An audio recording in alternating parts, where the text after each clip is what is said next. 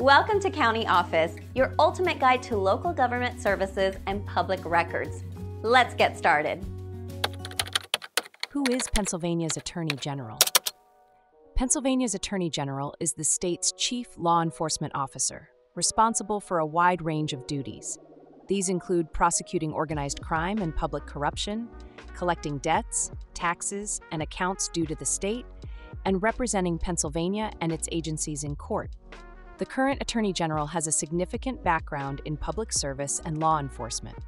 This individual has spent over 26 years in various legal and prosecutorial roles, including time in the Westmoreland County District Attorney's Office and the Bucks County District Attorney's Office. Before assuming the role of Attorney General, this person served as the first Deputy Attorney General under former Attorney General Josh Shapiro. In this position, they oversaw all legal matters of the office, including criminal cases, civil suits, and public protection cases. The Attorney General is also recognized for their work in safeguarding the rights of Pennsylvania consumers and victims of crime.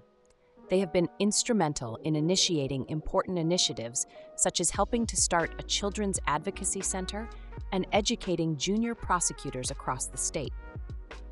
The current Attorney General was appointed to the position by Governor Josh Shapiro after he was elected governor in 2022. This appointment followed a long career of public service and a strong track record in law enforcement and public advocacy.